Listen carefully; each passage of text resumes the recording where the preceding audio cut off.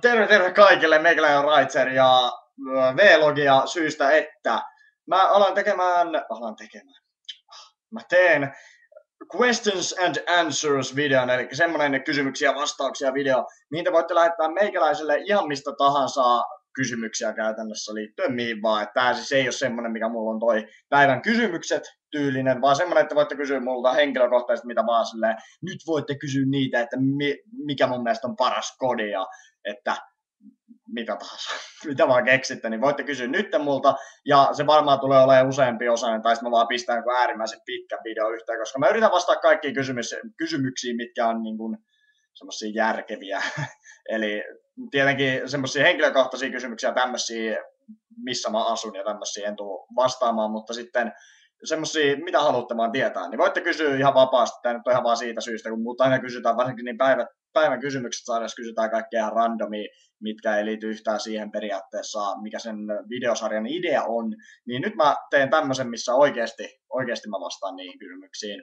Ja tosiaan osoittakaa ne kysymykset sille meikäläiselle, että mä mitä luultammin, kunhan mä saan Minna suostuteltua, mä teen myös sen kanssa, mutta tämä setti on nyt erikseen, eli älkää kysykö silleen Minna, Minna kysymyksiä. Ehkä mitä se kysyy sitten Minna, vaan kysykää meikäläiseltä, niin menee hyvin, niin ei tule sitten semmoista, että me tehdään se kumminkin erikseen, niin sitten te voitte kysyä siinä, niin että turhaa käytä tämän näppäimistöä puhki.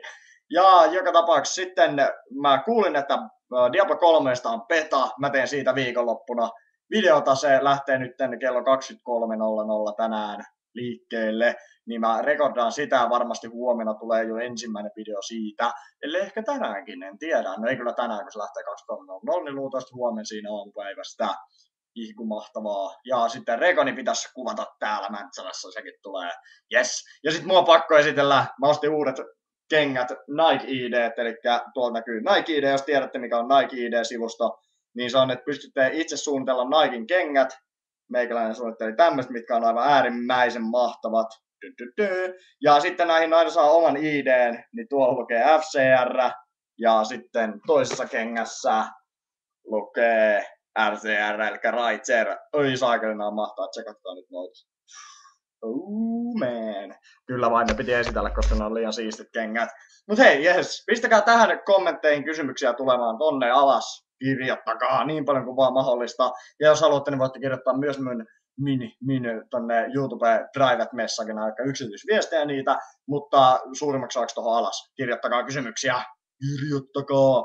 Jes, ei siinä muuta. Mä teen sen heti, kun te olette kirjoittaneet paljon kysymyksiä. Mä yritän vastata kaikkiin. Jes, mahtavaa. Moi.